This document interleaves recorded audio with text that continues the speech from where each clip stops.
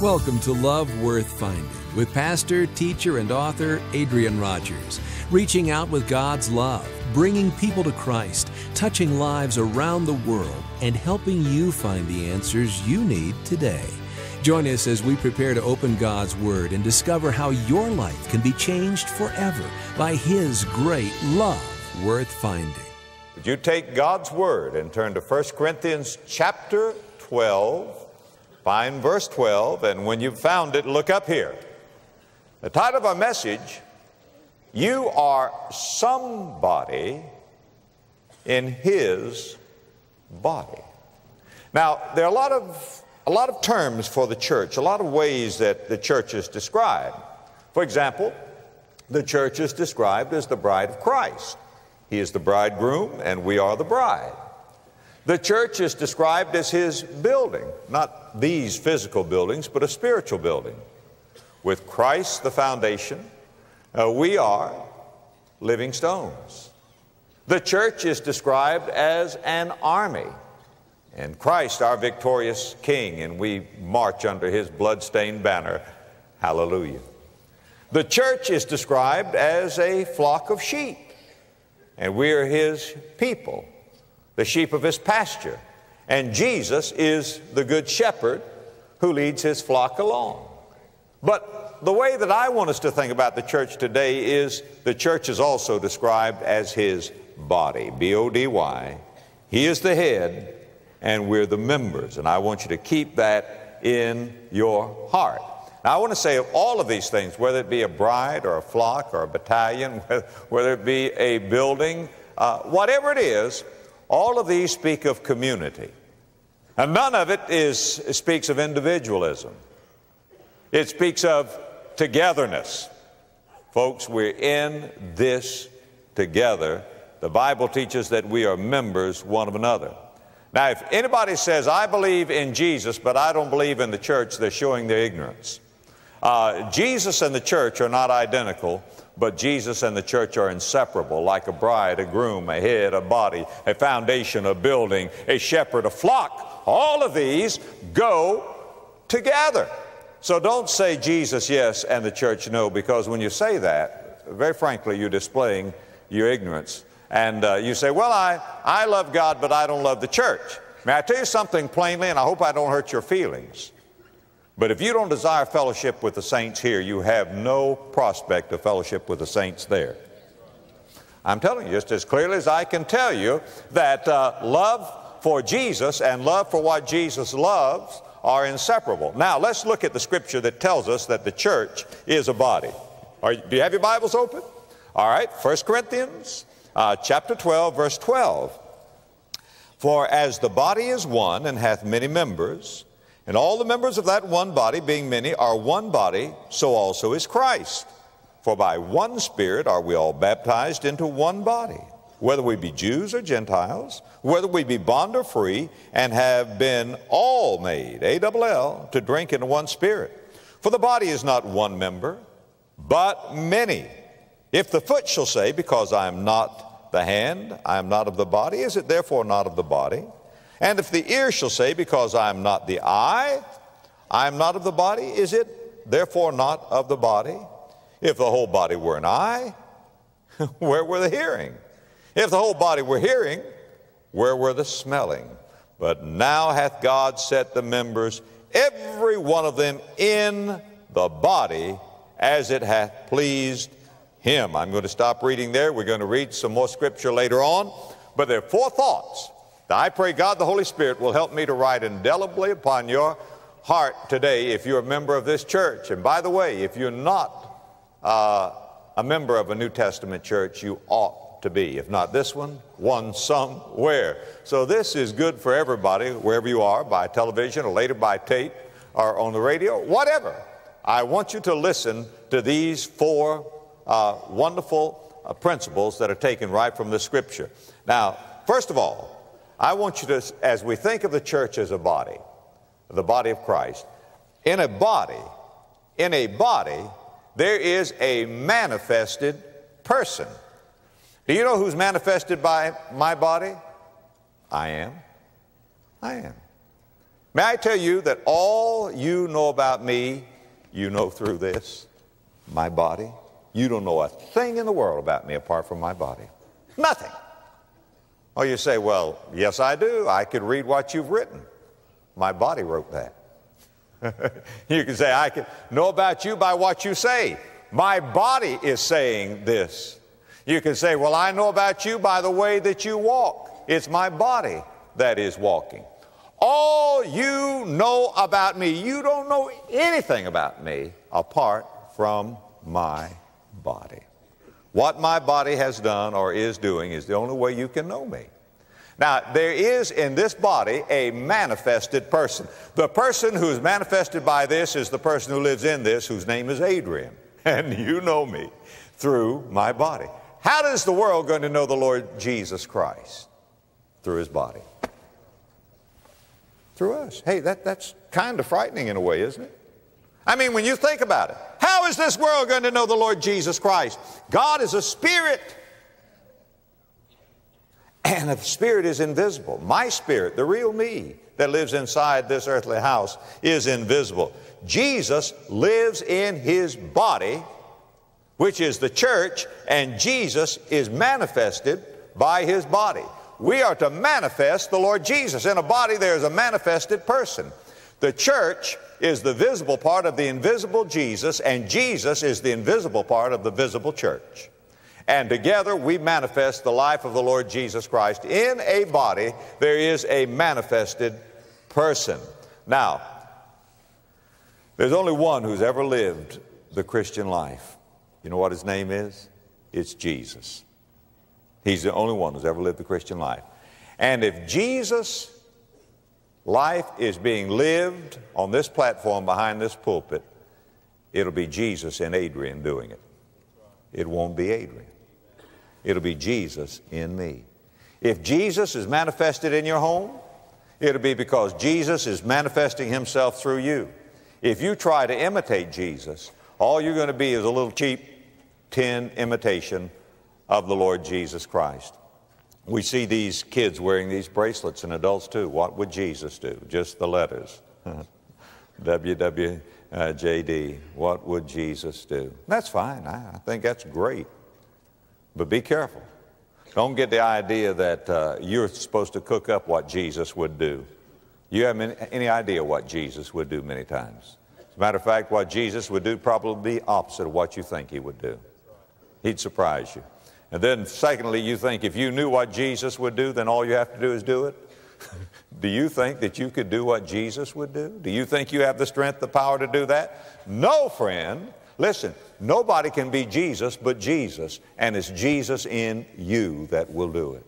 When you ask yourself, what would Jesus do? Let Jesus tell you what he would do. And then when you say, Jesus, it needs to be done, let Jesus do it. Does that sound mystical to you? Friend, that is the Christian life. It is Christ in you that is the hope of glory. And in a body, there's a manifested person, and in his body, which is the church, Jesus Christ is to be manifest. Now, have you got that? Let's move to the second point, because really this deals with you. So pay attention. In a body, there's also a ministering purpose. A ministering purpose. What is the purpose of my body? It is to minister to me. My body is here to serve me. My eyes are here to help me to see. My hand is here to feed me and to write for me. My legs are here to carry me around. Uh, my body is here to minister to me.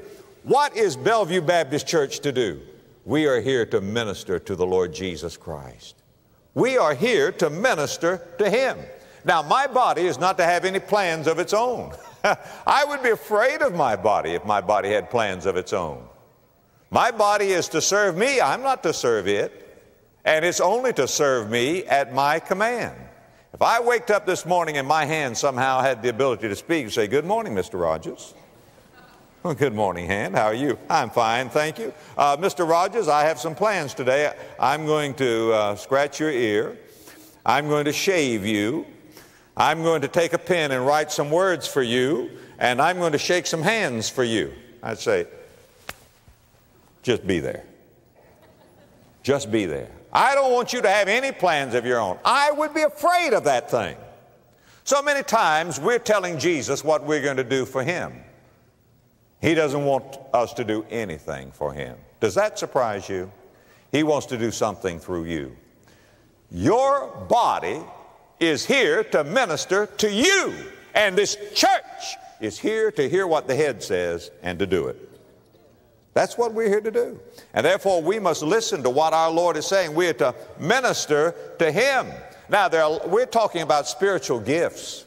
And we're going to show you that you're a gifted child, and all of us have been placed in the body of Christ in a particular function. And we're going to talk about different abilities. But I want to say, without any stutter, stammer, apology, equivocation, the best ability is availability. That's it. Are you available? You want to discover your spiritual gift? Are you available? I mean, are you responsive to Him? In a body, there is a manifested person. The person who lives in the body is to be manifested. In a body, there is a ministering purpose. The body is to minister to the purpose, uh, to the person who lives in that body. Over in Europe, after World War II, there was a cathedral that had been destroyed by the Nazi bombs. Some American GIs were there and they had extra time and they were helping to restore the old cathedral. And out in the courtyard of that cathedral, there was a statue of a likeness of Jesus. And uh, the boys, the, the statue had been broken, was on the ground, and they, they were picking it up and putting it back together and cementing the statue back together, but they couldn't find the hands. They found every part of the statue but the hands. No hands. Finally, one of those GIs made a beautiful plaque and put it at the foot of that statue. It said, He has no hands but ours. Well, truth in that. We are His hands, we are His feet. We are the body of the Lord Jesus Christ. Now, are you available? Are you willing to let Jesus be the manifested person in you? Are you willing to let your body minister to the Lord Jesus Christ, to His desires, His needs? Or do you say, Here, my Lord, my hands are your hands, my feet are your feet. God put you in this church to serve Him. And if you think you've done God a wild favor by coming on Sunday morning and listening to a sermon, and you, you call this the service, this is not the service. the service begins when you leave here. Now, God put you here to serve Him. Now, here's the third thought. Remember, I said there were four. In a body, there's a manifested person. In a body, there is a ministering purpose. In a body, there is a motivating power. A motivating power. My power, my, my body has to have something to motivate it. Look, if you will, in verse 13 of this same chapter here. 1 Corinthians chapter 12, verse 13. For by one Spirit are we all baptized into one body whether we be Jews or Gentiles, whether we be bond or free, and have all and have been all made to drink into one spirit. Now, the life of my human body is my human spirit. There is the, the breath, the word spirit, pneuma, or ruah in the Old Testament. It's the motivating power. God breathed into man's nostrils the breath of life. Man became a living soul. He's animated by the, the Spirit that's in him. When Jesus died upon the cross, he gave up the Spirit. And therefore, he, his body then was lifeless for three days without the Spirit. You see, a body has to have a motivating power. Now, the motivating power of the human body is the human spirit. The motivating power of Jesus' body is the Holy Spirit. The Holy Spirit is to be the life of Bellevue Baptist Church. The Holy Spirit of God. Without the Holy Spirit of God, there is no power in this church. Learn the difference between an organism and an organization. The church is organized, but it is not an organization, it is an organism. An organization does not necessarily have life. You can get a group of people together, get a beautiful building, get a man who can talk well, get the folks together, get them organized around some causes, and call it a church. But it may not be a church. It may be a wonderful organization. It may do some good. But, friend, I'm here to tell you there's an absolute distinct difference when the Spirit of Almighty God is working, moving among His people. And people need to come in here and see there is a spiritual dynamic, just as my human spirit is the life of my body that is motivating me right now. The Holy Spirit of God is to be the life of Bellevue Baptist Church. And well, we sing on Sunday morning sometimes, all is vain unless the Spirit of the Holy One comes down. The church is not a corporation with Jesus as the president. It is a body with Jesus as the head. It is an organism. It has life. Now, the Bible says, For by one Spirit, verse 13, have we all been baptized into one body. He's not talking here about water baptism in my estimation. He's talking about spirit baptism. We are baptized by the Holy Spirit into the body of Christ. When does this take place? When we believe on the Lord Jesus Christ, when we receive Christ as His personal Savior, the two things take place at the same time we are baptized into the body of Christ and we're filled with the Spirit. We've all been baptized into His body and have all been made to drink into one Spirit. That is, the Holy Spirit of God, when I give my heart to Jesus and I say, Lord Jesus, I'm a sinner. I can't save myself. You died to save me. You promised to save me. If I would trust you, I do trust you once and for all, now and forever. Forgive my sin. Come into my heart. Be my Lord and Savior. And then a miracle takes place. And the Holy Spirit says, Now I'm placing you, Adrian, into the body of Christ. I am baptizing you into the body of Christ. Water baptism only symbolizes this spirit baptism. I am baptized, verse 13, into the body of Christ. But not only am I placed into the body of Christ, the Holy Spirit is placed into me, and I've been made to drink into one spirit. Uh, just as I take a drink of water, the Holy Spirit just comes into me. So I am in the body of Christ and the Holy Spirit is in me. That takes place when I get saved. And that makes the, the, the wonderful transformation. That makes the difference. And so when I am put into the body of Christ, there I receive my spiritual gift. When I'm put into the body of Christ. I'm put into the body of Christ, maybe as an eye to see things for Jesus. Maybe as a shoulder to bear burdens for Jesus. Maybe as a hand to hold things for Jesus. Maybe as feet to go somewhere for Jesus. Maybe as a heart to love for Jesus.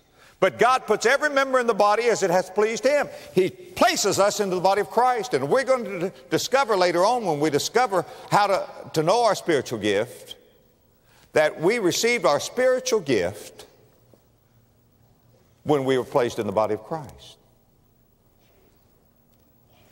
It's a birthday gift when you were born again. But also, when you're saved, the Holy Spirit comes into you. You've been made to drink in the one Spirit. It's right there in that verse 13. The Holy Spirit of God is in me, and I am in Jesus. Isn't that wonderful? And that same is true about you. Now, when I'm baptized by the Holy Spirit into the body of Christ, I receive my gift. When I'm filled with the Holy Spirit, I receive the power to use my gift for the glory of God. And, and, and so, in, in a body, there is a motivating power. Some people have the idea, and it's a false doctrine, false theology, that you get saved and then later on you receive the Holy Spirit. No, sir. This verse says, For by one Spirit have we all, every one of us, been baptized into the body of Christ, and have all been made to drink in one Spirit. As a matter of fact, I want to tell you something very clearly. If you don't have the Holy Spirit, you're not saved. Absolutely not saved. The Bible makes that clear in, in the book of Romans, where the Bible says, If any man have not the Spirit of Christ, he is none of his. Now, who is the baptizer? The Holy Spirit. Who is being baptized?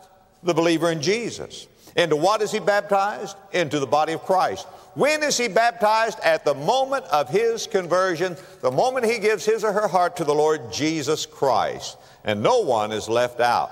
We're baptized by the Holy Spirit into the body of Christ. Romans 8, verse 9 If any man have not the Spirit of Christ, he is none of his. So, in a body, are you, are you listening? Are you following along? In a body, there's a manifested person. I'm manifested in my body, Jesus is manifested in his body, the church. In a, a body, there's a ministering purpose. Uh, my body is here to minister to me. We're here to minister to the Lord Jesus Christ. In a body, there is a motivating power. Uh, the power that animates and motivates my body is my human spirit. The power that animates and motivates the church of the Lord Jesus Christ is the Holy Spirit of God. Does it make sense? Now, here's, here's the fourth and final thing of, the, of these things. Uh, in a body, there is a mutual program.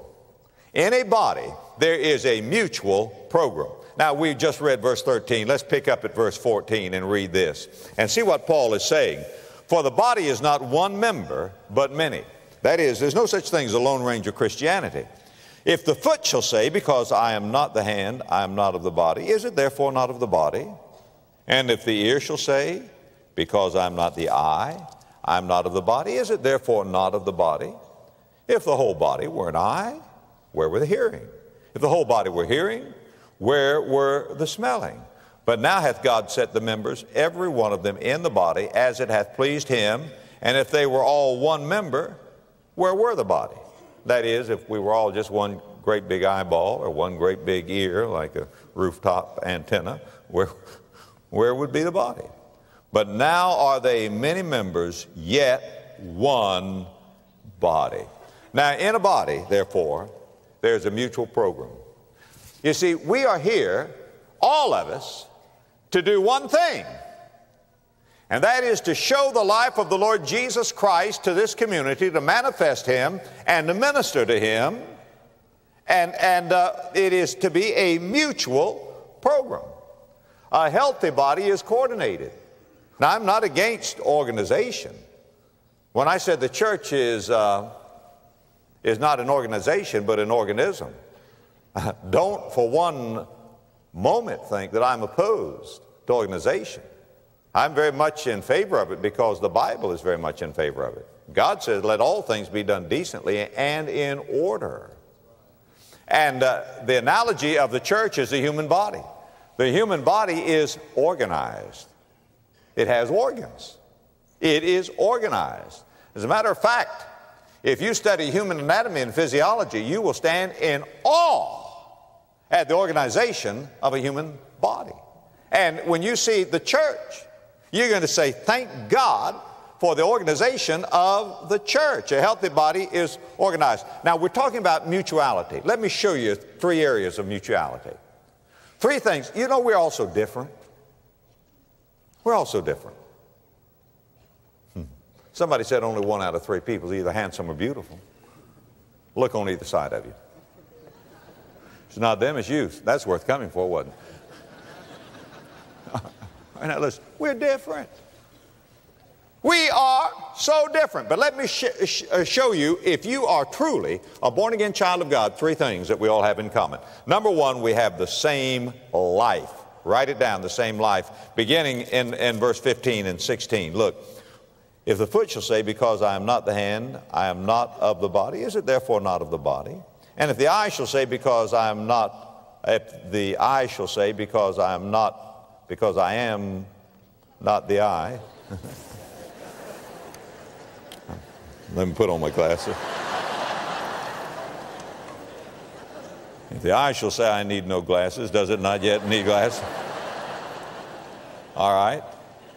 And if the ear shall say, Because I'm not the eye, uh, I am not of the body? Is it therefore not of the body? What's he saying? He's saying that, uh, that we're all in the same thing together. We share common life. And he goes on to mention the foot and the hand. The foot and the hand should never be in competition. No part of my body can function as it ought apart from the other members of the body. A foot is not as noticeable in public as the hands. I, I dare say there's probably nobody in here barefooted. There may be. I've seen them come to church barefooted, but I dare say most of you have shoes on today. right? And I dare say that most of you are not wearing gloves, but you may be. But I'm saying generally what? The feet are covered, uh, the hands are bare. Most of you have rings on. Few of you have rings on your toes, but a few do. a few have rings on your toes and, and so forth. But generally, the hands are more public and more noticeable than the feet. But both are necessary. God has made us where no one part of the body can function as it ought apart from the other. It's grotesque to us when one member of the body is, is, uh, has been severed from the body. Now, look up here. See my hand? Does that particularly bother you? I don't think so. Uh, just waving at you. But suppose you look down in the aisle beside you and there lies a hand. If you were to see just a human hand out there, severed, my eyes don't particularly bother you, I trust. But if you were to open a dresser drawer and find a dresser drawer full of them, good night. What has happened here? You see, things, the, the Christian is to operate along with other Christians. We need one another. Look in verse 17. If the whole body were an eye, where were the hearing? If the whole body were hearing, where were the smelling? But now hath God set the members, every one of them, in the body as it hath pleased Him. So we, we need one another. Now, you have parts of your body that you're not really aware of. Many times we teach boys and girls to thank God for their eyes and their ears and their hands. But this morning, when you got up and prayed and thanked God for your blessings, did you say, God, I just want to thank you so much for my pancreas? And Lord, I, I am so blessed by my kidneys today and my liver and my spleen. No, you didn't do that. You didn't say, God, I'm so grateful for my pancreas. Friend, if you had pancreatic cancer and it got healed, you'd thank God for your, your, your pancreas, would you not? You see, there, there, are parts of our bodies that function, we don't even, we don't, we're not even aware of it, but thank God for it. Now, we have a mutual life, and, and therefore we show a mutual love. Look in verses 25 and 26 of this same chapter. That there should be no schism in the body but that the, that the members should have the same care one for another. And whether one member suffer, all the members suffer with it. Or one member be honored, all the members rejoice with it. We, we, we have the same life, and therefore we have the same love. You to love me, I'm to love you. Why? We're in the same body. Now, if one of my members is sick, if my uh, heart or my gallbladder or my eyes or whatever have trouble, that doesn't mean they're to be shut off. It means they're to be cared for all the more. We share the same love. Now, listen. Listen to me. If you're in this body, you cannot be arrogant. Listen carefully. You cannot say, well, look at me. I'm, I am the pastor. I'm not a custodian, I am the pastor. No, you can't be arrogant. Number two, you can't show envy. You can't say because somebody has a gift I don't have, because he's an eye and I'm a liver, uh, I, I'm going to be jealous of the eye. No. There can be no envy. There can be no rivalry. The members of the body are not to be at war with one another. I don't have to get ahead of you. You don't have to get ahead of me. There can be no self sufficiency. I cannot say I don't need you. You cannot say you don't need me. If I were to ask you to pick up a red card, the hand can't say I don't need the eye because the hand can't feel color. The eye has to say that's the red one right there. We need one another. The eye can't pick up the card, however. We need one another. There can be no rivalry, no self sufficiency, and there can be no disunity. We're in it together. Why? We share the same life. Uh, we share the same love. And we share the same Lord. Look in verse 27 of this same thing. Now ye are the body of Christ and members in particular. You see, loyalty to the head, Jesus, has to be loyalty to one another. If this hand is right with the head, and this hand is right with the head, these hands have to be right with one another. If you're right with Jesus and I'm right with Jesus, we've got to be right with one another. There can be no disunity. Loyalty to Jesus means loyalty to one another. Just like loyalty to the head means loyalty to every member of the body. You cannot, you cannot, you cannot be loyal to Jesus without being loyal to His church. And that's the missing note today, friend, is loyalty. People think, I, they, they think nothing about missing a church service, for example.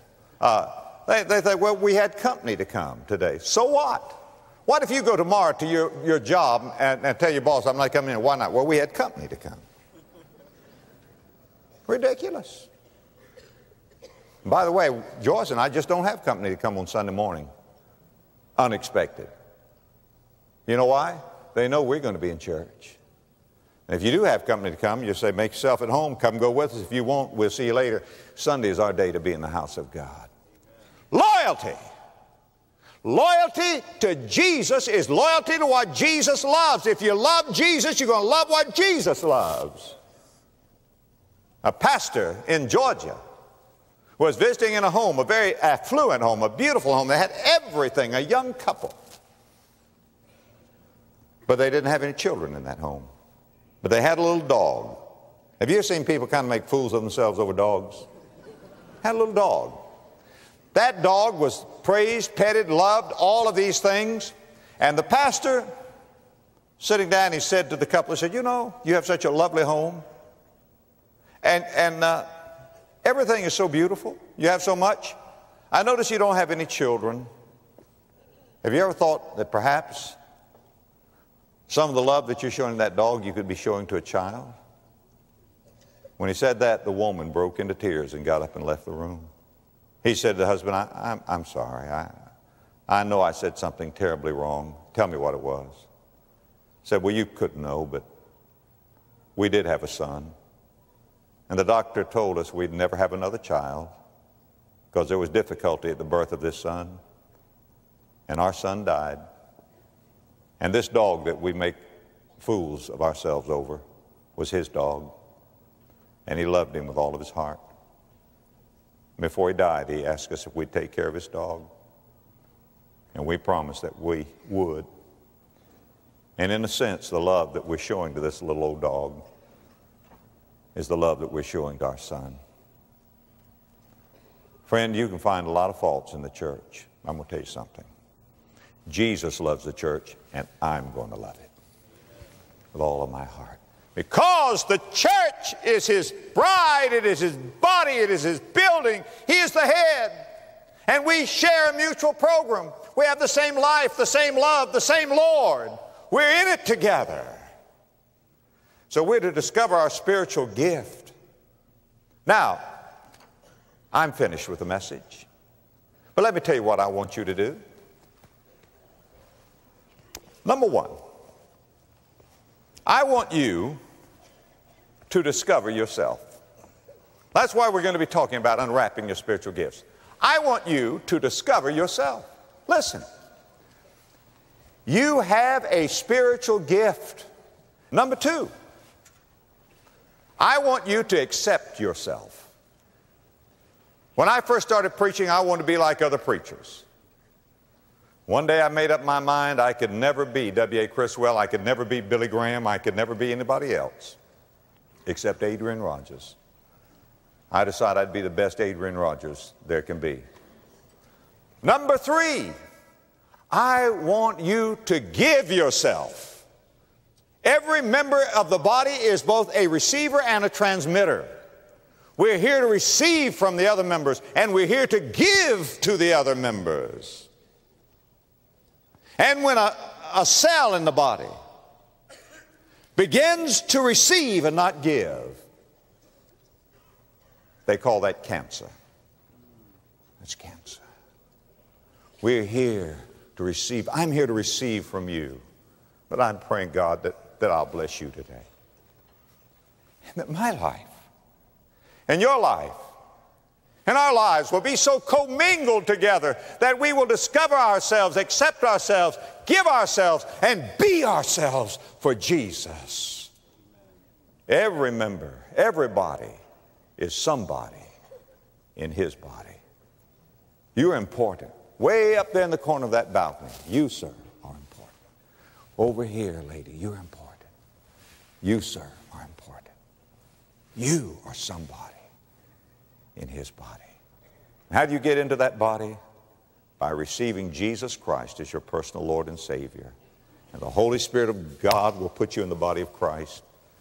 And the Holy Spirit of God will come into you to help you to live like the Christian that He's made you to be. Would you bow your heads in prayer? Heads are bowed and eyes are closed. Would you begin to pray for those around about you who may not know the Lord Jesus Christ? And if you want to be saved today, I want to tell you that if you'll put your faith where God has put your sins on the Lord Jesus Christ, He will save you. Furthermore, He will keep you. Pray this Dear God, I am a sinner. Pray it, pray it and mean it. God, I am a sinner. My sin deserves judgment. I'm bound for hell. But I want to be saved. Jesus, you died to save me and promised to save me if I would trust you, and I do trust you right now, like a child. I lay my pride in the dust. I receive you as my personal Lord and Savior. Come into my heart. Forgive my sin. Save me, Lord Jesus. Did you ask Him? Then thank Him. Thank you for saving me. I receive it by faith like a child, and that settles it. You're now my Lord, my Savior, my God, and my friend. And Lord Jesus, thank you for saving me. I don't ask for feeling, I stand on your word. Give me the courage to make it public. In your name I pray. Amen. We pray God has blessed you as you've watched this message. If you'd like additional copies or information on other resources, write us at Love Worth Finding, P.O. Box 38800, Memphis, Tennessee 38183. You can also visit our online bookstore at lwf.org. In the U.S., you can place Visa or MasterCard orders by calling 1 800 274 5683, Monday through Friday, 8:30 a.m. to 4:30 p.m. Central Time. Thank you, and may God richly bless you.